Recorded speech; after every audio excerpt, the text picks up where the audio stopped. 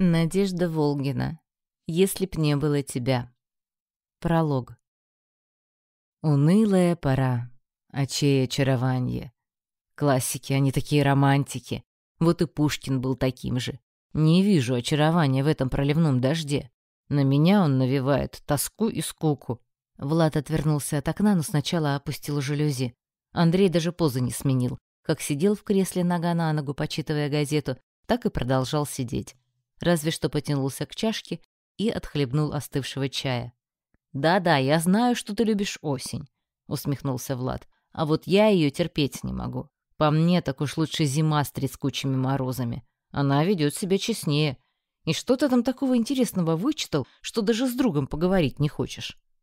Влад приблизился к приятелю и опустился в соседнее кресло. «Статистика интересуюсь, дружище», — выглянул Андрей из-за газеты. Статистикой чего? На второй вопрос друг и по совместительству сослуживец отвечать не торопился. Он аккуратно свернул газету и положил ту на журнальный столик, а потом без тени улыбки посмотрел на Влада. «Нашей статистикой. Института брака. И знаешь что? Она ужасна, дружище». «Прямо ужасно», — усмехнулся Влад. «Прямо ужасно. Больше половины браков заканчиваются разводами, кивнул Андрей. Ну, знаешь, я тут точно ни при чем, развел руками Влад. А кто при чем? Это же твоя прямая работа. Именно твое отделение сочетает пары браком. Это просто работа, друг. Да понятно, что работа. И я тебя сейчас не осуждаю. Все мы стремимся повысить свои показатели увеличить число брачующихся. «Получить премию!» — встрял в монолог друга Влад и для пущей важности выставил указательный палец. «Но как же любовь?» — пропустил Андрей его фразу мимо ушей. «В браке она обязательно». «Я тебя умоляю», — возмутился Влад. «Откуда возьмется любовь, если куча народу женится или по залету, или по расчету, или еще по какой-то другой необходимости? Какая там может быть любовь?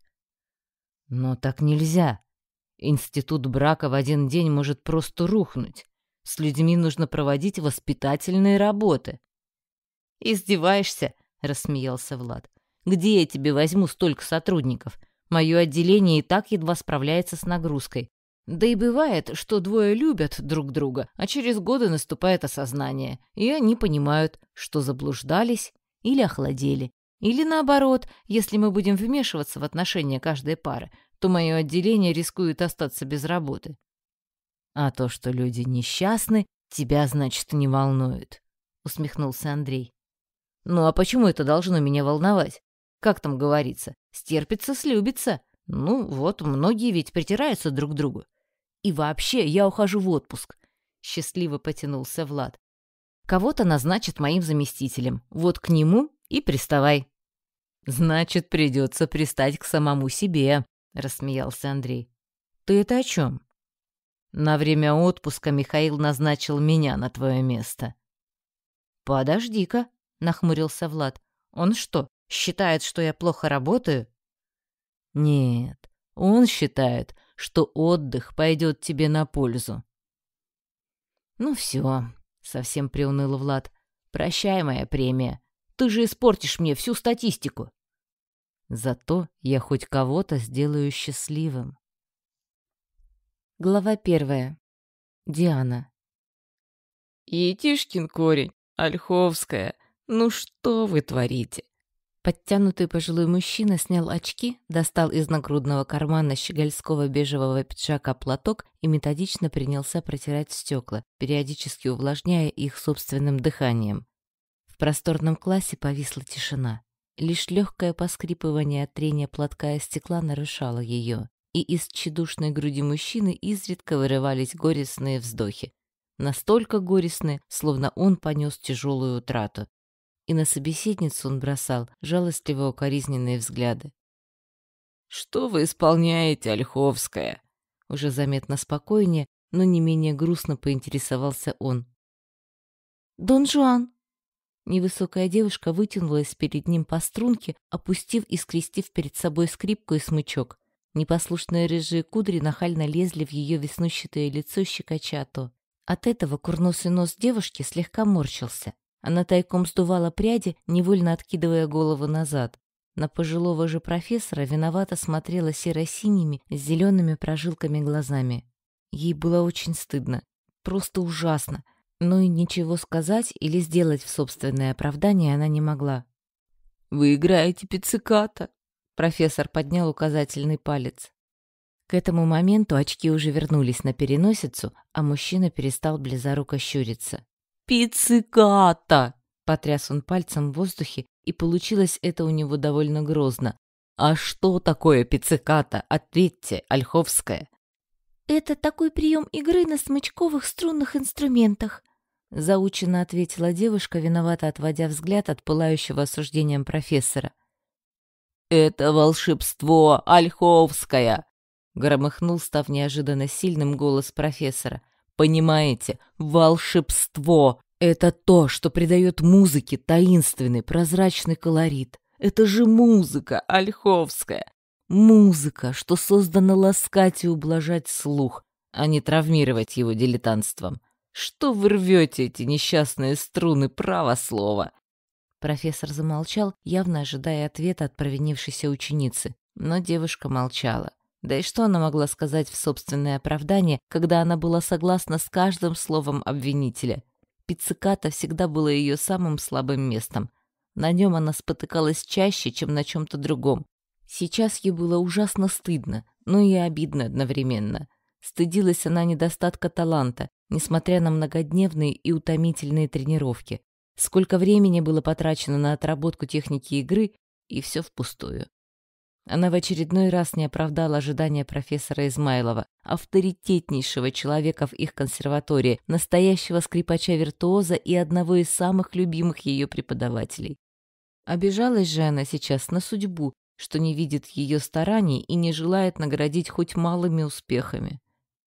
«Знаете, на что похожа ваша игра?» — вновь загремел голос профессора. Даже бас-гитара не простила бы вам подобного обращения с собой. Вы же отрываете струны этой несчастной скрипки. Должны быть щипки, понимаете? Легкие, изящные щипки для извлечения отрывистого и более тихого звука. Он энергично приблизился к девушке семенящими шажками. Спина его при этом казалась очень прямой, даже слишком. Инструмент жалобно трынькнул, когда перешел из женских рук в мужские.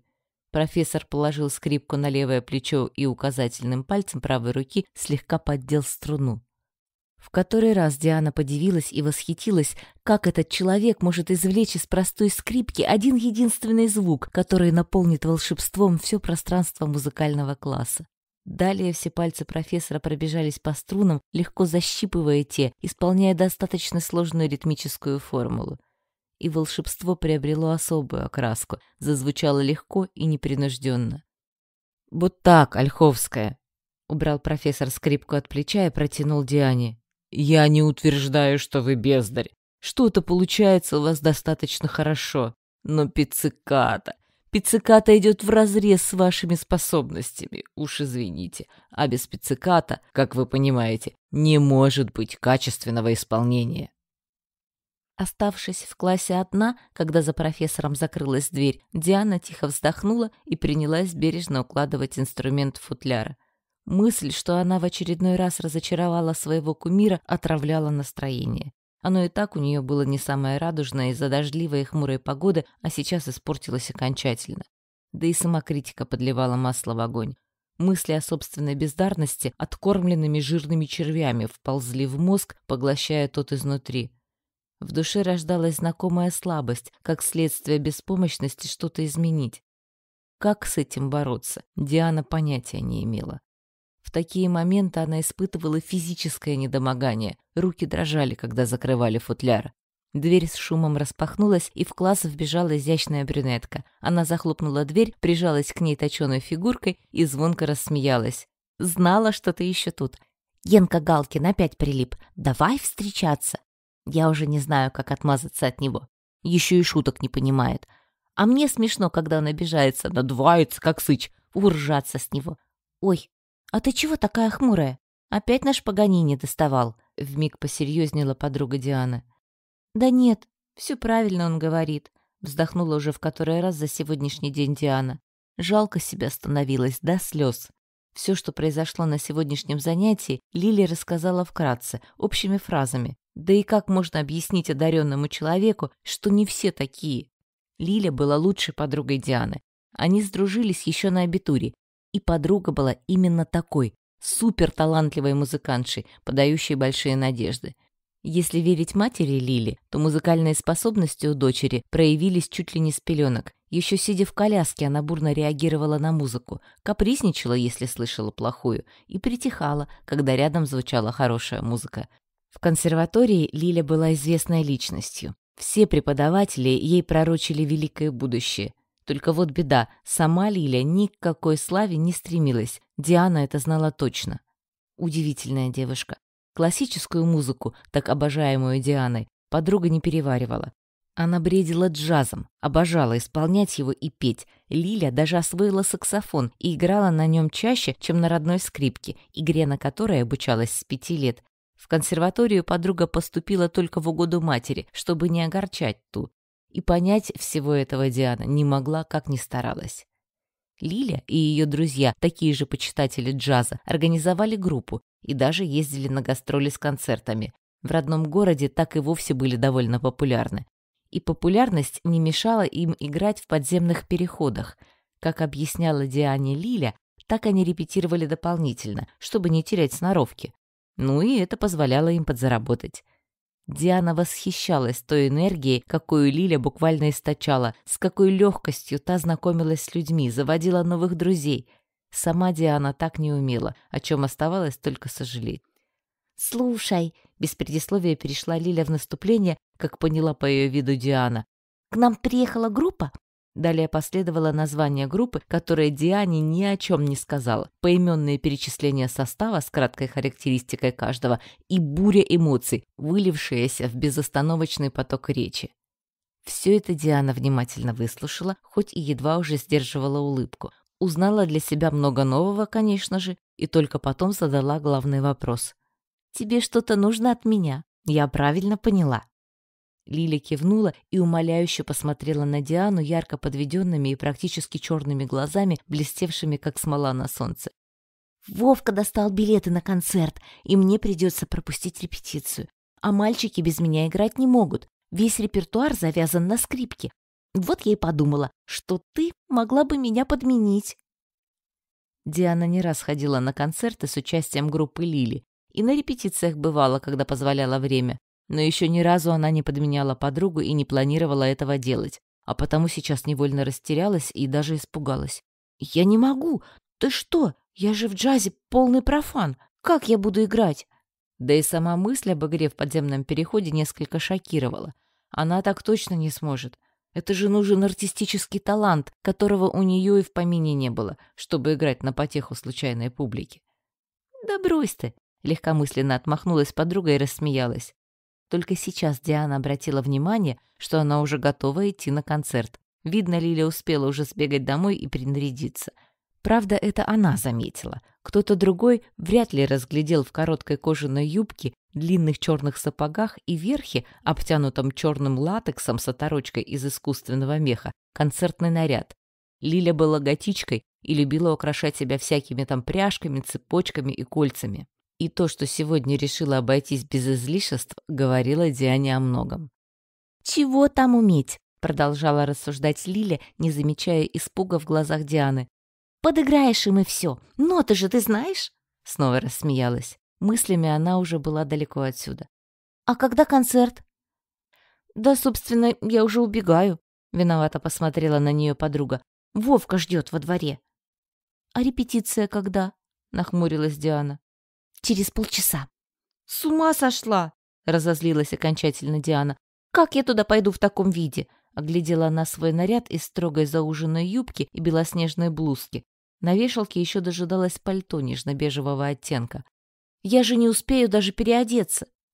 «И не надо», — уверенно отозвалась подруга. «Выглядишь ты замечательно. Мальчишки просто сойдут с ума от тебя. Да и остальные тоже. Глядишь, подзаработаешь сегодня».